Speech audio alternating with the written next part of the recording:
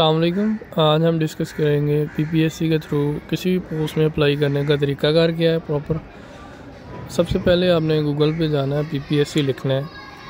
PPSC लिखने के बाद नीचे सर्च सर्च का जो बटन बना होगा, उस पर क्लिक करेंगे। फिर ये फ़र्स्ट वेबसाइट है पी के इस पर क्लिक करेंगे। तो आपके पास इस तरह से वेबसाइट ओपन हो जाएगी। ये वेबसाइट आप चेक कर लें ऑफिशियल लिंक इस तरह से आ जाएगा। नेक्स्ट जो है वो राइट साइड पे अप्लाई ऑनलाइन जो है वो उसका बटन बना हुआ है, उस पर क्लिक करेंगे अप्लाई ऑनलाइन पे, इसके बाद लिस्ट ऑफ़ पोस्ट आ जाएगी, जितनी पोस्ट है। यहाँ पे जिस पोस्ट में आप लोग अप्लाई करना चाह रहे हैं, उस पर क्लिक करेंगे। उस पर क्लिक करेंगे तो आपके पास डिटेल जो है वो सारी, यहाँ पे डिपार्टमेंट पे आप लोग पोस्ट जो है वो चेंज करना चाह रहे हैं, उस पर भी कर सकते हैं। हम लोग असिस्टेंट सेलेक्ट किए। आप लोग जो है वो केस नंबर और जितनी पोस्ट है, सारी डिटेल आपके पास आ जाएगी। एज रिक्वायरमेंट कितनी है क्वालिफिकेशन कितनी रिक्वायरमेंट है, ये सारी डिटेल यहाँ पे आ जाएगी। उसके बाद आपने प्रोसीड पे क्लिक करना है।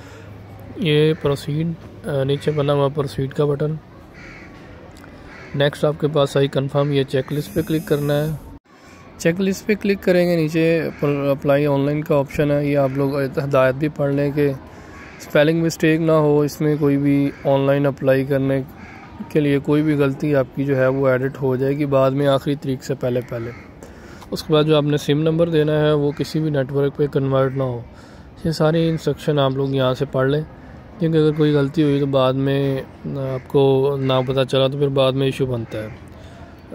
आप टेस्ट पास कर लें, इंटरव्यू हो जाए तो वो एक जो है वो इशू बन जाता है। इसलिए बेहतर है कि आप लोग पहले चेक कर लें। नीचे अप्लाई ऑनलाइन पे क्लिक करेंगे। उसके बाद यहाँ पे आपके पास नया पेज ओपन आ जाएगा। यहाँ पे पहले आपने आईडी कार्ड नंबर जो है वो विद डैशेज लिखना है। शनाख्ती कार्ड का नंबर डैशेज के साथ लिखना है सेकंड नंबर पे। आईडी कार्ड का नंबर जो है वो आपने विदाउट डैशेज उसमें डैशेज नहीं आएँगे। ऐसे लिखना है। उसके बाद नेक्स्ट करेंगे तो ईमेल एड्रेस आपने लिखना है, फिर नीचे मोबाइल नंबर। मोबाइल नंबर वो देना है जो किसी और नेटवर्क पे कन्वर्ट ना हो। फिर नीचे प्रोसीड का बटन है, जब आप मोबाइल नंबर लिख लें तो प्रोसीड के बटन पे क्लिक कर लेना। ज़ीरो थ्री के बाद आपने अगर ज़ीरो थ्री हंड्रेड है तो डबल ज़ीरो लिख देंगे। वो छोटे खाने में, बड़े खाने में जो बाकी नंबर है, वो आ जाएगा। उसके बाद लिखने के बाद आप लोगों ने प्रोसीड करना है। उसके बाद ये वेरीफाई अगर चेंज करना है तो चेंज पे क्लिक करेंगे, नहीं तो वेरीफाई कर देना आपने। ईमेल एड्रेस और मोबाइल नंबर ये ध्यान से लिखने क्योंकि इस पर आपको टोकन नंबर रिसीव होना है और एप्लीकेशन आईडी भी। ये आपको नेक्स्ट काम आती है। उसके बाद नेक्स्ट जो है वो जेंडर सेलेक्ट करेंगे। उसके बाद डेट ऑफ़ बर्थ है तरीक पैदाइश आ जाएगी। जेंडर के बाद। वो सिलेक्ट करेंगे। आप लोगों ने जो है वो तरीक पैदाइश अपनी डेट ऑफ़ बर्थ सेलेक्ट करनी है जो भी आपकी डेट ऑफ़ बर्थ है जितनी भी है। आ, उसके बाद नेक्स्ट जो है वो अगर आप जो है वो गवर्नमेंट एम्प्लॉय हैं तो यस करेंगे नहीं है तो नो कर देंगे। नेक्स्ट जो है वो अगर आप लोग स्पेशल पर्सन हैं तो यस नहीं तो नो आर्म फोर्स वो नो ओके प्रोसीड पे क्लिक करेंगे नीचे फिर उसके बाद एप्लीकेंट का नेम आ जाएगा जो भी आपका नाम है। वो लिखेंगे नेम ऑफ़ द रिलीजन आ जाएगा। रिलीजन पहले सेलेक्ट करेंगे मुस्लिम है। और उसके बाद जो है वो नीचे नेम ऑफ़ द रिलीजन वो इस्लाम या जो भी वो नीचे से सिलेक्ट हो जाएगा। अगर नॉन मुस्लिम है तो उधर लिस्ट आ जाएगी, आपने वहाँ से सिलेक्ट कर लेना। सी एन आई सी शनाख्ती कार्ड की एक्सपायरी डेट आपने सेलेक्ट करनी है यहाँ से। जो भी आपकी आईडी कार्ड की एक्सपायरी डेट है, वो लिखेंगे। आईडी कार्ड के ऊपर लिखी होती है। उसके बाद यहाँ पे एक्सपायरी डेट लिखने के बाद आप लोगों ने नेक्स्ट जो है वो पोस्टल एड्रेस जो आपका पोस्टल एड्रेस है, वो लिखेंगे। फ़ोन नंबर है तो लिख दें, नहीं तो यहाँ पे लिखने की ज़रूरत नहीं, क्योंकि जिस पे स्टार आ रहा है ना स्टार बना हुआ आ रहा है, वो ज़रूरी है, जिन पे नहीं है, उस, वो कोई इशू नहीं है। नेक्स्ट मोबाइल नंबर जो आपने पहले से ईमेल एड्रेस दिया वो आ जाएगा। डोमिसाइल डिस्ट्रिक्ट आ जाएगा जो भी डोमिसाइल है वो आप सेलेक्ट करेंगे जिस भी डिस्ट्रिक्ट का आपको डोमिसाइल है उसके बाद ऊपर फादर नेम ही लिखना आपने और नीचे फिर आपके डोमिसाइल इशू डेट जिस डेट को डोमिसाइल आपका इशू है वो डेट सेलेक्ट करेंगे। उसके बाद सिंगल है सिंगल है या मैरिड है बेसिक सी डिटेल है ये सारी। आ, ये सिलेक्ट करेंगे उसके बाद ये इसको नहीं छेड़ना आपने। नेक्स्ट आ जाएगा जी number of chances avail for the post अगर आपने पहले भी इस पोस्ट का टेस्ट दिया हुआ है और आपके 40 से मार्क्स कम हुए हैं तो वन लिखेंगे, नहीं तो ज़ीरो ही कर देना आपने। मतलब इसमें तीन चांस होते हैं एक पोस्ट के लिए। अगर आपने पहले कोई चांस अवेल नहीं किया तो ज़ीरो चांस आ जाएगा। उसके बाद नेक्स्ट है वो सिटी सेलेक्ट करेंगे, जिस सिटी में आपने टेस्ट देना है। फैसलाबाद है, लाहौर है या रावलपिंडी है जो भी आपका है, उसके बाद नेक्स्ट आ जाएगा जी। ये आ जाएगा, उसके बाद अगर कोई उम्मीदवार अपना पहले से मंतखब शुदा सेंटर बदलना चाहता है तो उसको, उसकी दरख्वास्त सिर्फ़ उस शर्त पर कबूल होगी, जो डेट जो है वो टेस्ट की, उससे पहले पहले आप लोग जो है वो दरख्वास्त दे सकते हैं। ये उसके बाद है जी ऑनलाइन पेमेंट फ़ी बल्कि कोशिश करें कि पहले जो आपने first time test centre select किया, वही नहीं तो बाद में इशू बनता है। आप पहले डिसाइड कर ले, हो जाता है टेस्ट सेंटर चेंज तो लेकिन आप कोशिश करेंगे, पहले ही हो जाए, नहीं तो फिर जितनी जल्दी as soon as possible application देंगे तो टेस्ट सेंटर चेंज हो जाएगा। उसके बाद ये फ़ीस की डिटेल आ जाएगी फ़ी की सारी। ये आप लोग इसको मोबाइल एप्लीकेशन जो है, वो जायज़ कैश से भी पे कर सकते हैं इजी पैसा से भी। और मोबाइल बैंकिंग ऐप जो है वहाँ से भी कर सकते हैं। ये P S I D generate हो गई है, इसकी P S I D number आ रहा है आपके ऊपर आपके पास टॉप पे ये पी एस आई डी आप जायज़ कैश की एप्लीकेशन ओपन करेंगे। जायज़ कैश की एप्लीकेशन को लॉगिन कर लिया उसके बाद जो है वो नीचे आएँगे। यहाँ पे ऑप्शन है जी एक गवर्नमेंट पेमेंट का है। यहाँ पे राइट साइड पे ना गवर्नमेंट पे, पेमेंट पे क्लिक करेंगे नीचे जाएँगे। यहाँ पे आपको ऑप्शन मिलेगा G O P B government of the Punjab P R A का भी ऑप्शन है G O P exercise and excise and taxation का भी है। आपने जो सेकंड नंबर है, उस पर करना है जी ओ पी बी यहाँ पे सेलेक्ट करेंगे, उसके बाद आपने पी एस आई डी लिखनी है। पी एस आई डी लिखेंगे। ये आपके पास डिटेल शो हो जाएगी, जितनी फ़ी है, वो आ जाएगी। वैसे तो सिक्स हंड्रेड है, यहाँ पे फिफ्टीन रुपये एक्स्ट्रा लेते हैं। पंद्रह रुपये और कंफर्म करेंगे पेमेंट को। पेमेंट कंफर्म करने के बाद जो है, वो आपकी फ़ी जो है वो पे हो जाएगी। और उसके बाद आप थोड़ी देर में इसको पेज को रिफ़्रेश करेंगे तो आपके पास जो पी पी की फ़ीस जो है वो पे हुई शो हो जाएगी। उसके बाद नेक्स्ट नेक्स्ट करेंगे तो यहाँ पे आप लोगों ने अपनी पिक्चर एक अपलोड करनी है और एक आईडी कार्ड की पिक्चर अपलोड करनी है। उसमें ये साइज़ भी दिया हुआ है। पिक्चर जो है वो कौन सी होनी चाहिए? जेपीजी और इसका पिक्चर की आपको डायमेंशन वगैरह भी दी हुई है कि कितनी उसकी डायमेंशन होनी चाहिए। और ये जे जेपीजी जेपीजी है फार्मेट उसका ना 60 के से ज़्यादा ना हो। 60 किलो बाइट पिक्चर का साइज़ होनी चाहिए। अगर 60 के से ज़्यादा होगी, हमारे पास नॉर्मली जो है वो एम में पिक्चर होती हैं या के बी में होती हैं तो सिक्सटी के बी से साइज़ ज़्यादा ही होता है। आप उसको पिक्चर साइज़ रिड्यूस गूगल पे जो है वो लिखेंगे तो आपके पास डिफरेंट वेबसाइट आ जाएगी।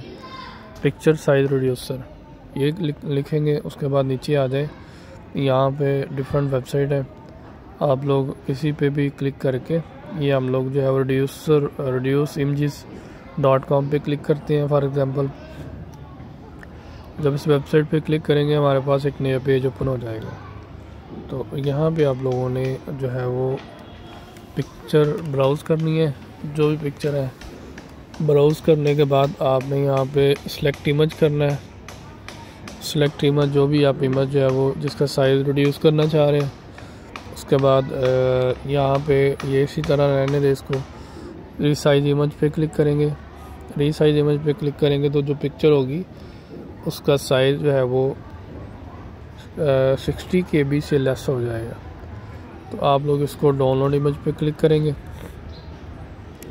डाउनलोड इमेज पे क्लिक करके वो आपके पास इमेज आ जाएगी। तो यहाँ पे आप लोग वो चूज़ और अपलोड पिक्चर यहाँ पे कर देंगे। इसी तरह ID card C N I C का फ्रंट जो है वो फ्रंट पिक्चर आईडी कार्ड की वो अपलोड करेंगे।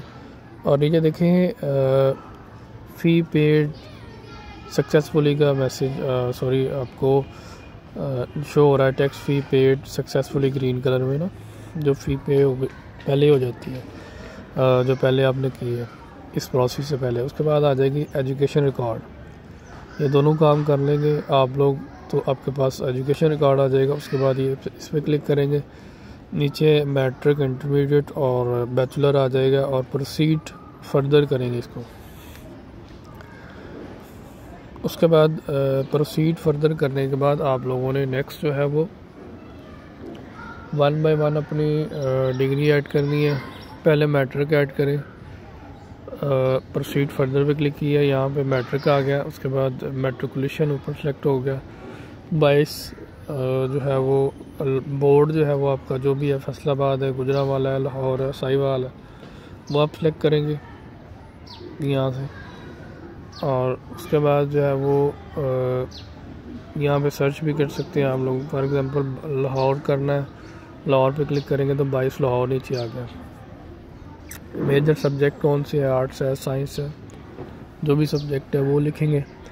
सब्जेक्ट लिखने के बाद नीचे आ जी result declared on result subject लिखने के बाद रिज़ल्ट की डेट लिखनी है आपने। जिस डेट को डिक्लेयर हुआ फिर एनुअल है या सेमेस्टर है, वो सिलेक्ट करेंगे। ये देखिए major subject for example science है, उसके बाद जो डेट है, वो लिख लिया आप लोगों ने। उसके बाद डेट लिखने के बाद आप लोगों ने नेक्स्ट जो है वो उसमें, ये देखें मतलब जो भी प्रॉपर डेट है, वो आप लोगों ने लिखनी है ऐसे। डेट लिखने के बाद जो है वो मार्क्स जितने भी आए आपके, वो लिखेंगे। उसके बाद टोटल मार्क्स या टोटल सी जी है जितने। फिर डिवीज़न फ़र्स्ट है सेकंड है। ऐड अनदर एजुकेशन पे क्लिक कर देंगे। इसको ऐड करेंगे तो फिर आप लोगों ने इसी तरह जो है वो मैट्रिक पहले ऐड किया, फिर आपने मैट्रिक के बाद इंटरमीडिएट ऐड करना।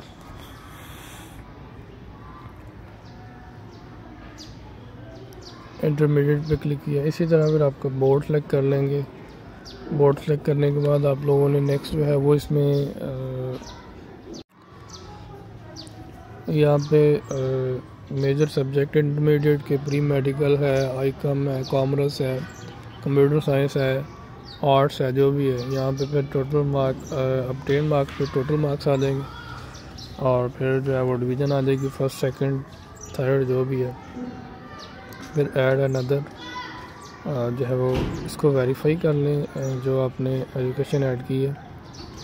और ये ऑटोमेटिकली आपके ऊपर जो है वो ऐड होती जाएगी। इसको ऐड करने के बाद नेक्स्ट आपकी जो ग्रेजुएशन हर सीट की जो है वो डिफरेंट क्वालिफिकेशन होती है। अगर कोई जूनियर क्लर्क की या डाटा एंट्री की सीट है, या जूनियर पेट्रोल ऑफिसर है, उसके लिए मोस्टली इंटरमीडिएट होती है तो आप लोगों ने वो इंटरमीडिएट तक ऐड करनी है। तो इसमें जो है वो हम लोगों ने ग्रेजुएशन की भी ऐड कर दी डिटेल वो भी सेम इसी तरह से होगी। और यहाँ पे आप लोग वेरीफाई कर लें। वेरीफाई करने के बाद नेक्स्ट जो है वो यहाँ पे ऐड सर्विस रिकॉर्ड आ जाएगा।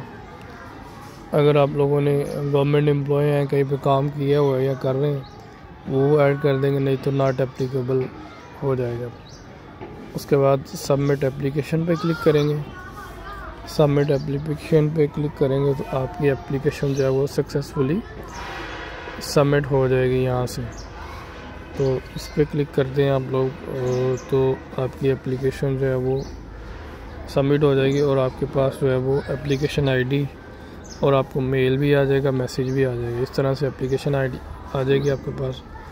आपको उसकी मेल और टैक्स भी आ जाएगा। अगर आप इसमें चेंजिंग करना चाह रहे हैं तो कर सकते हैं। बहुत शुक्रिया असल